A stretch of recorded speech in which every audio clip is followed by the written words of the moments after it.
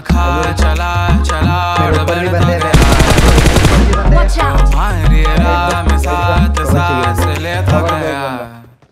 ये नेट डाल दो यहाँ पर नेट डाल दो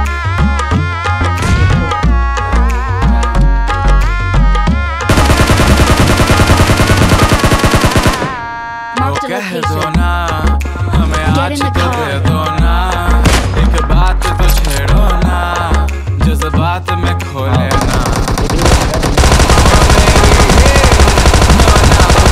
मेरी चलना रुला न कर हाथ लब ने करना बिजा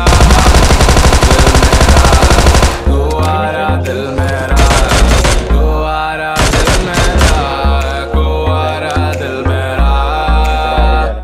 दिल मेरा ओ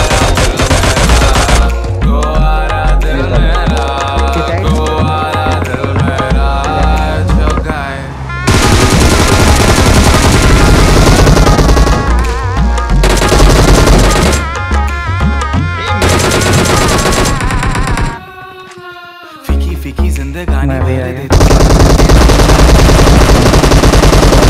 काली काली रातें कर दे तू पूनम की उजियारे उजियारे जान मेरे फीकी फीकी जिंदगानी भर दे तू फागुन की ये अंधियारी कारी रातें कर दे तू की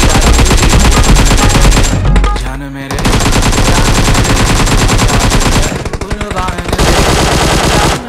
कुछ ना खाम खा चला चला।